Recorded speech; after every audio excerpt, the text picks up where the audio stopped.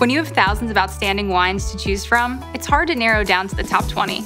But we rose to the challenge and tasted our way to the top picks. Now we're revealing the next seven wines, numbers 10 through 4.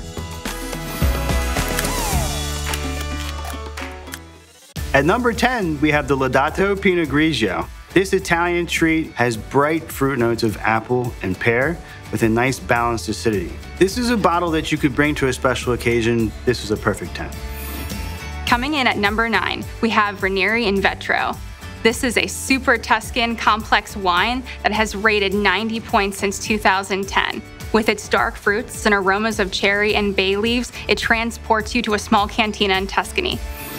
Number eight, Alima Rose. It's a fun, fresh, fruity rosé with some notes of strawberry and floral on the finish. Any day is a good day for rosé.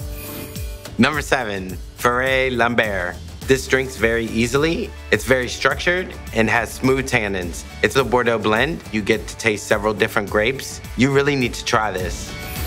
Six, Marie de Moi Champagne. This is a really good value. It's also Grand Cru, which means it's made from top tier grapes. If you're looking for a bottle to pop open for a celebration, look no further. This is the perfect bottle. We've reached the top five. All you Chardonnay lovers are gonna love this one. At number five, we have the Crimson Ranch Chardonnay. This is made by a family you might know, the Mondavi family. This California Chardonnay is the perfect balance of oak and fruit, a bit of creamy vanilla on the finish. This is a standout bottle on the top 20 list. I'm very happy to introduce number four on our list 1858 Pinot Noir. It is just a stunning California Pinot. Big, bold, and fruit forward. It's an absolute must try.